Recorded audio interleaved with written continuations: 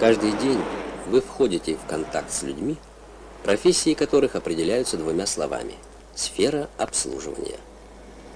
И что греха таить, порой эти контакты не приносят нам положительных эмоций.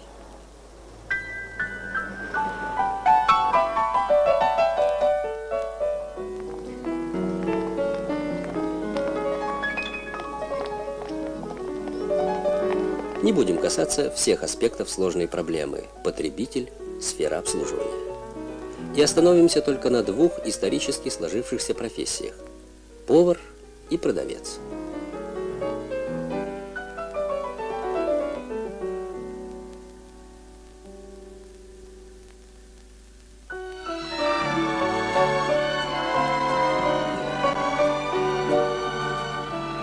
Вернемся немного назад, к тому времени, когда в соответствующих учебных заведениях еще шли занятия.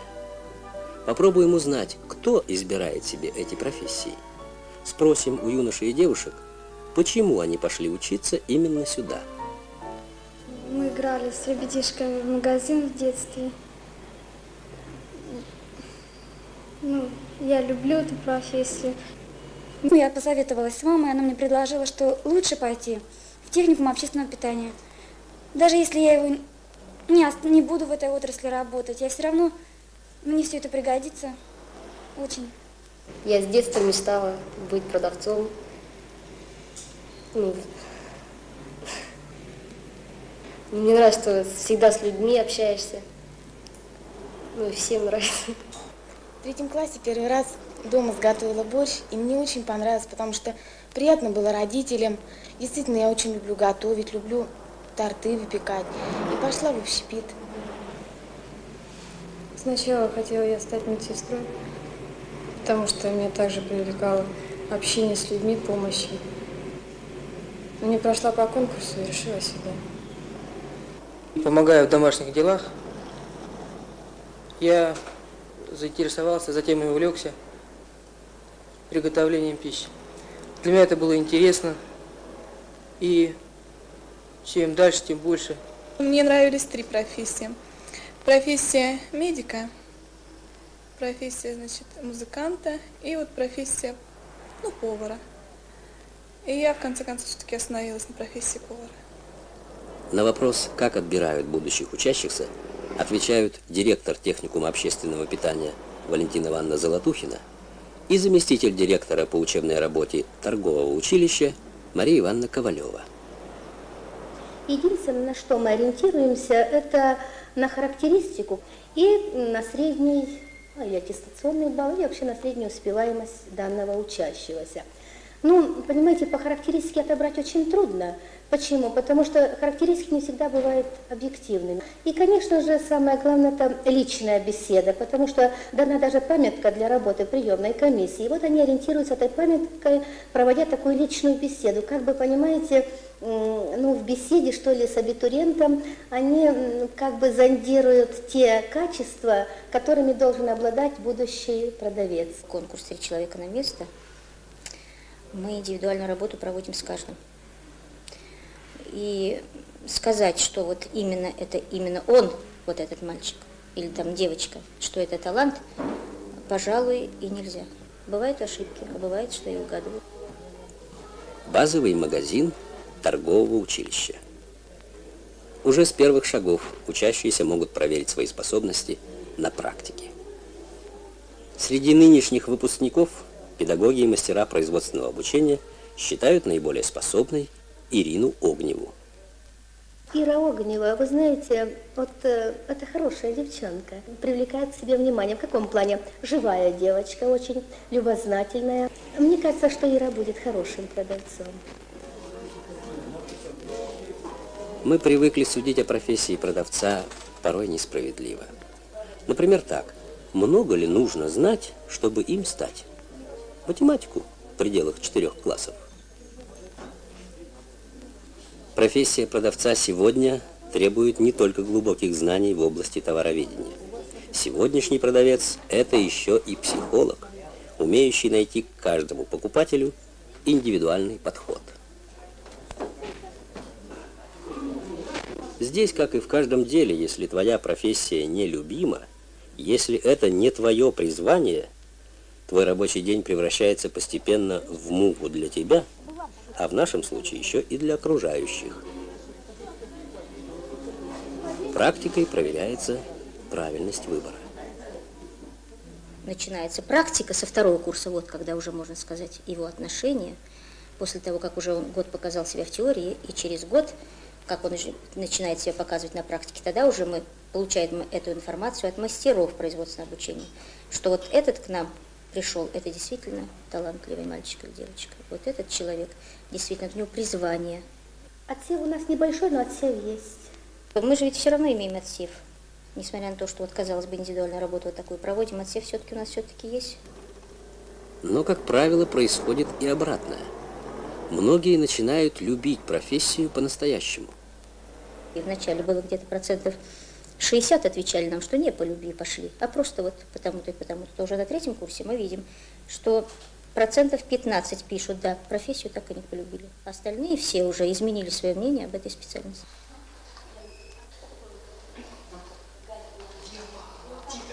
Долгую и кропотливую работу проводят педагоги, раскрывая учащимся сущность будущей профессии. В торговом училище идет урок производственной этики.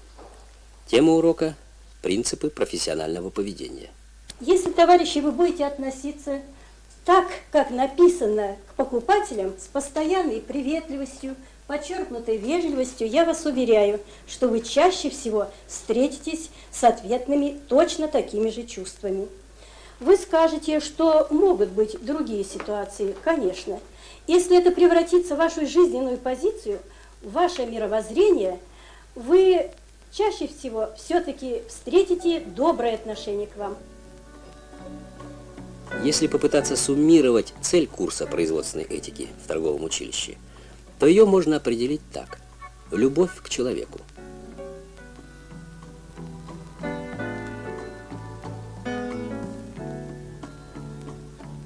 Можно и проще. Уважение к покупателю. У Солоухина есть такие стихи, белые, правда, стихи.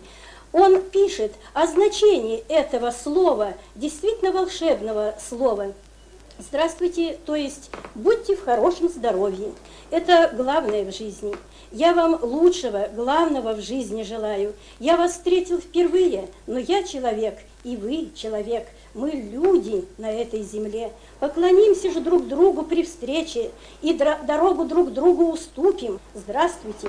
Как мне радостно, что могу я вам это сказать. Замена «я» на «вы». Не стоит говорить так. Я вам показал уже все образцы. Лучше сказать так. Мы с вами посмотрели уже все образцы. Слово может разъединить говорящих. Слово может совершенное отчуждение в обращение одного человека к другому внести. Я хотела бы прочитать одну строфу. Слово и друг обижен, слово и дверь закрыта, слово уходит поезд, слово и ты один. Одно неосторожное слово, и можно остаться одному вообще в жизни. Среди пришедших по призванию наиболее способных учащихся педагоги техникума общественного питания называют выпускника будущего повара Василия Дмитриева. И дело здесь не только в учебных успехах. Честность, добросовестность. У Васи это есть. Порядочность. Он всегда будет работать в общественном питании.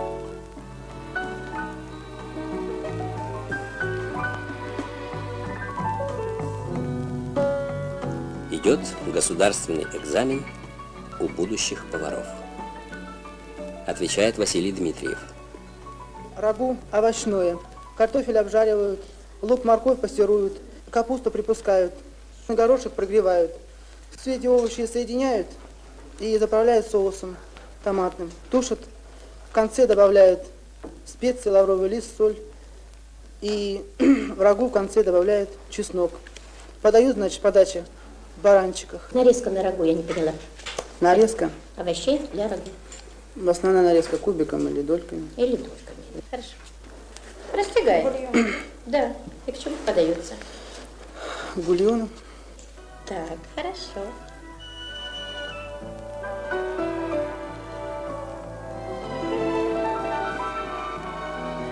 Научно-технический прогресс коснулся и этой профессии.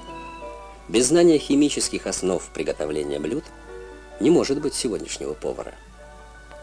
Мы уже давно перестали понимать физиков, когда они говорят о своей работе. Прислушайтесь к современному профессиональному языку поваров. Актомиозин, миоген, глобулин. Миоген – это основная часть водорастворимой белковой фракции мяса. Состоит, значит, из миогена А и миогена Б. Актомиозин – основная часть белков, миофибрил мяса. Он не растворяется в воде, но растворяется в солях. Следующий вопрос. Соус майонез. Желки растирают солью, сахаром, горчицей, добавляют масло и дают маслу полностью проэмульгировать. Добавляют уксус. Все, все хорошо говоришь. А для будущих продавцов одними из основных забот остаются нормы профессионального поведения. Зачет по психологии торговли. Знания проявления чувства эмоций крайне важны в нашей профессии. Ведь, например, если покупатель приходит к тебе, к твоему прилавку, обуреваемый какими-либо отрицательными эмоциями, то мы, конечно, должны соблюдать определенные меры предосторожности, чтобы не вызвать у этого покупателя аффект, то есть разрядку. Существует четыре вида темперамента. Так, например, человек, обладающий темперамент, в большей степени темпераментом сангвиником, выступая в качестве покупателя, сосредоточенно рассматривает товар. Он внутренне отвлекается от всех раздражителей внешних. С таким покупателем, в общем-то, легко и приятно работать. А продавцу люди идут со своим и горем, как говорится, и радостью. А можешь привести пример? Ну, так у нас, наверное, у каждого, у меня очень часто в нашем небольшом опыте практики подходят люди, допустим, просят, «Э, выберите, ну, допустим, магнитофон, я хочу там подарить внучке, которые оканчивают институт, там, ну, или э, просят выбрать подарок свадьбы самым близким людям. В общем, а вот что-нибудь сокровенное тебе когда-нибудь говорили? Может, другому человеку не сказал бы? Или это горе, или радость? Да, люди говорят и о горе. Например, ко мне как-то подошла одна женщина и просила, ей безразлично было, она просила выбрать на свое усмотрение телевизор. Она говорит, мне нужно забыться. Я говорит, не хочу ни с кем видеться, мне нужен телевизор. Ну, просто, конечно, к любому же человеку не могут подойти и сказать, вот у меня горе. Так, э, вот, пожалуйста. Обратите внимание, в ответах учащихся уже звучат нотки гордости своей профессии. Спокоен, ровен очень, он думает о чем-то своем, его не задело э, вот это бестактность человека. И последний, я думаю, что это холерик, так как он быстро... Ой, простите, меланхолик. Меланхолик, так как он... Меланхолик тоже человек такой спокойный, но он ранним. Быстро, может быстро обидеться на что-то там, незначительное слово или поступок.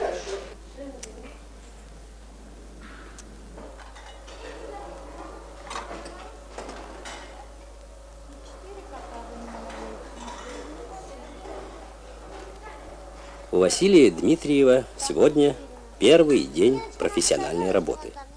Он получил распределение в ресторан «Сибирь». Так, две каши, мама. Отставь пока.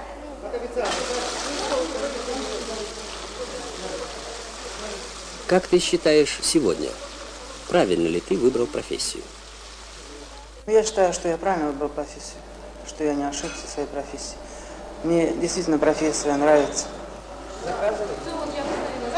Как ты представляешь себе настоящего повара? Повар это тот же артист. Он должен раскрываться, артист на сцене, а повар в приготовлении блюда.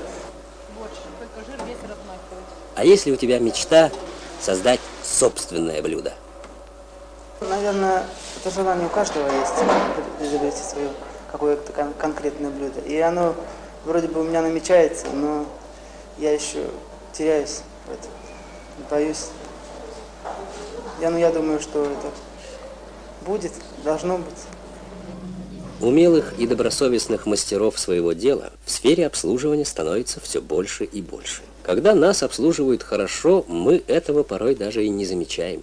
Ирина Огнева пришла в торговлю по призванию. Спросим у нее, что ощутила она, достигнув своей цели, встав к прилавку. Первое, это, наверное, гордость, что все-таки меня туда, так сказать, запустили, все-таки, что я уже за прилавком стою, в то же время страх, потому что это первые твои покупатели, с которыми нужно общаться. Мне раньше казалось как, что ну, приходит покупатель, там просит что-то показать, все показываешь, а как-то такого общения, в общем-то, не происходит. А здесь уже, понимаешь, у тебя даже просят совета, и с, с каждым покупателем нужно работать индивидуально. Каждый раз, когда выходишь в зал, встречаешься с людьми, просто поднимается настроение. Просто время пролетает даже незаметно. Мне хотелось бы сейчас год поработать, а затем поступить в торговый институт. В институте все-таки даются знания больше и о профессии, и о товаре, и вообще во всем. Институт готовит в основном товароведов, а мне хотелось бы остаться за прилавком.